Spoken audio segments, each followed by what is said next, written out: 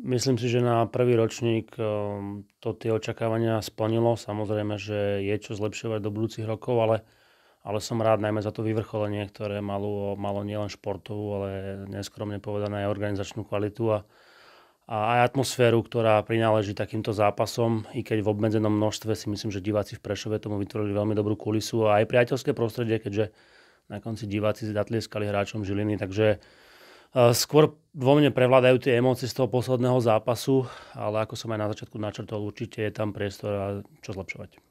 Počas sezóny dali kluby priestor aj B alebo juniorkám. Ako si vnímal to, že k takýmto krokom došlo a že nepostavili vlastne svoje plné mústva?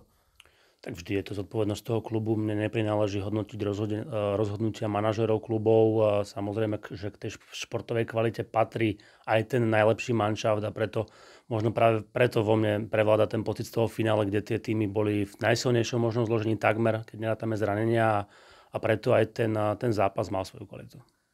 Počas e, sezóny došlo k nejakým reakciám zo stran klubov, možno aj médií, že ten pohár je zbytočný alebo že nemá takú kvalitu, akú by mal mať. Ako ste reagovali na tieto slova? Ja si myslím, že najjednoduchšie je nerobiť nič, preto aby sa tu niečo dialo a a pozerám sa na to skôr z toho pohľadu, že vidím pohár poloplný než poloprázdny a mm, konec koncov aj, aj reakcie tých klubov, ktoré to zobrali za svoje a, a postavili sa k tomu zodpovedne, tak, tak nás posúvajú dopredu že to zmysel má a ja verím, že aj fanúšikovia si k tomu časom ten, ten, tú cestu najedú vo väčšom počte a uvidia ten zmysel, ktorý ten pohár ponúka, a síce konfrontáciu tímov aj z nižších súťaží s tými vyššími dostať možno aj extraligových hráčov na prvoligové štadióny a celkovo ten prínos pre slovenský hokej. A nie len ten ligový, klasický, na čo sme zvyknutí, ale opäť aj niečo možno iné, čo, čo môže byť časom veľmi atraktívne. Môže aj prezradiť, že čo sa možno chystá v budúcom ročníku? Čo by mohlo prilákať možno aj viac divákov alebo klubov?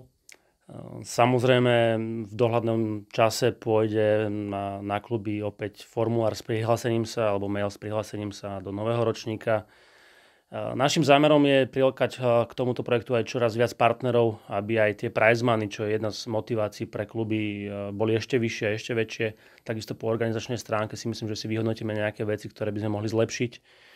A nechcem možno zachádzať príliš do detailov, čo máme v pláne do budúcnosti. Nehovorím, že hneď od budúceho ročníka, ale ďalej, ale, ale aspoň tak načrtnem, že nie len teda tá finančná odmena, ale, ale výzvou pre nás je dopriať víťazovi pohára aj konfrontáciu so zahraničným týmom. V tejto sezóne zasiahlo 19 mústiev, pôvodne bolo 20, Trebišov nenastúpil. Chýbali extraligové mústva ako Slován alebo, alebo ďalšie tie špičkové týmy odmietli, respektíve nenastúpili. Bude možnosť ich dotiahnuť v budúcom ročníku? Samozrejme, že kvalita pohára bude taká vysoká, ako tam budú tie týmy prihlásené a kluby, ktoré majú Cvenga značku, najmä tie extraligové, chceme dostať do pohára a vysvetliť im a teda pracovať s nimi na tom, aby aj oni sa pohára zúčastnili. Verím, že sa nám to podarí a, a aj na príklade toho zorganizovaného finále sme ukázali, že to berieme my vážne a budeme chcieť presvedčiť aj kluby, aby to začali brať vážne bude aj nejaká možnosť, že by víťaz sa posunul ďalej, že by získal možno miestenku v kontinentálnom pohári alebo v nejakom, nejakom novom formáte? To je to, čo nechcem príliš rozvádzať, ale určite je to jedna z veľkých motivácií, aby sme dali tú pridanú hodnotu ešte najvyššie oproti tým finančným podmienkám a práve takú nejakú zaujímavú konfrontáciu aj pre divákov.